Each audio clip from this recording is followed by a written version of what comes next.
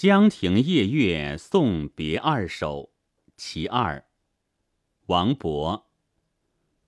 乱烟笼碧气，飞月向南端。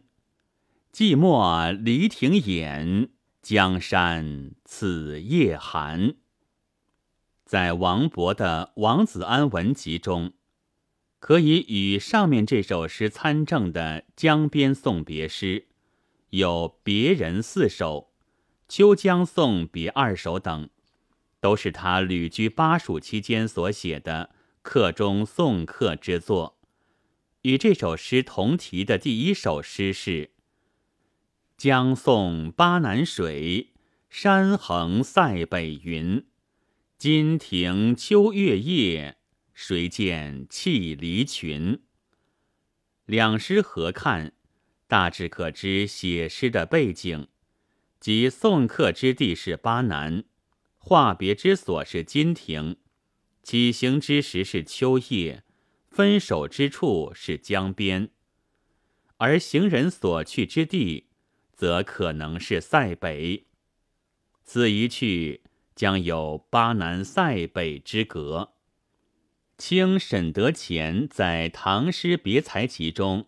选录了两首中的第一首，但就两诗比较而言，其实以第二首为胜。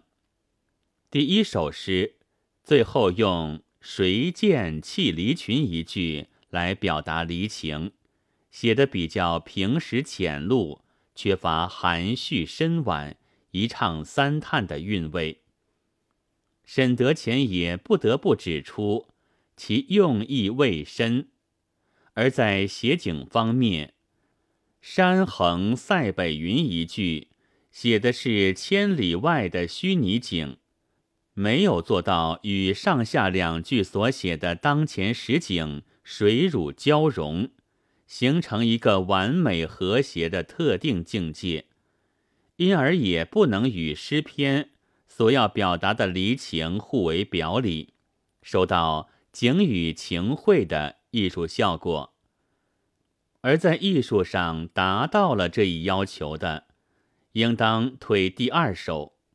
在这诗中，诗人的离情不是用弃离群之类的话来直接表达的，而是通过对景物的描绘来间接表达。诗人在江边送走行人后，环顾离亭，仰望明月。远眺江山，感怀此夜，就身边眼前的景色，描绘出一幅画面优美、富有情味的江干月夜图。通篇看来都是写景，而诗人送别后的流连顾望之状、凄凉寂寞之情，自然浮现纸上。是一首寓情于景、景中见情的佳作，兼有耐人寻味的深度和美感。诗的前两句“乱烟笼碧气，飞月向南端”，以烟笼月移，显示送别后夜色的深沉；后两句“寂寞离亭掩，江山此夜寒”。以庭掩夜寒，显示人去后周围的冷寂。这四句诗分别看来，首句写的是地面景，次句写的是天空景，第三句写的是近处景，末句写的是远方景。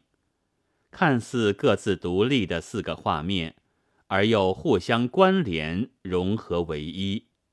黄叔灿在《唐诗兼注》中指出，这首诗的寂寞句跟首句江山句顶次句，这是说一三两句都是写离亭，而门户深掩之景是与烟笼闭气之景相照应的；二四两句都是写从离亭眺望所见，而江山夜寒之景。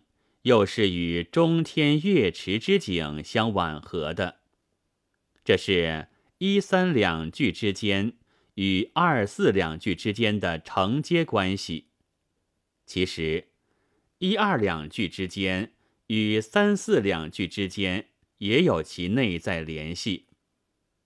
对月夜景色有体验的读者会知道，地面的烟雾往往随夜深月转而加浓。杜牧《泊秦淮》诗中的“烟笼寒水，月笼沙句”，和五代后唐李存勖《忆仙姿词》中的“残月落花烟重句”。都是如实的写出了烟雾与夜月的关系，同时，对送别有体验的读者也知道，当行人未去、匆匆话别之际，是无暇远眺周围景色的；只有在行人已去、往往若失之时，才会从凝望中产生这种江山夜寒之感。